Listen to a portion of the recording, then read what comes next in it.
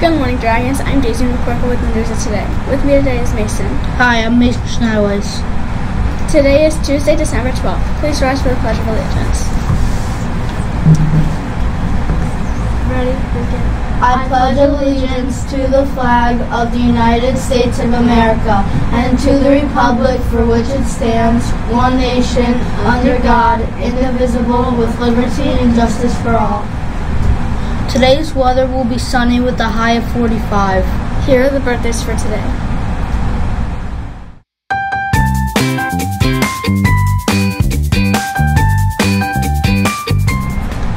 Here are today's words of wisdom. Today's quote is from a famous children's author you may know, so listen carefully. Unless someone like you cares a whole awful lot, nothing is going to get better. It's not.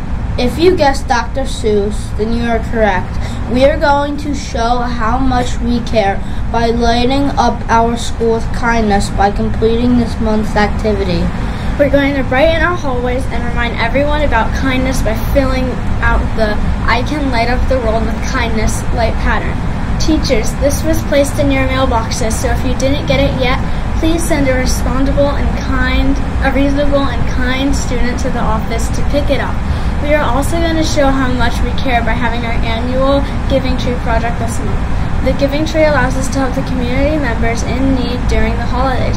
This will allow things to be better for those that we are able to help. Well, those are the announcements for today. Remember, step up to learning kindness at Clark Mills.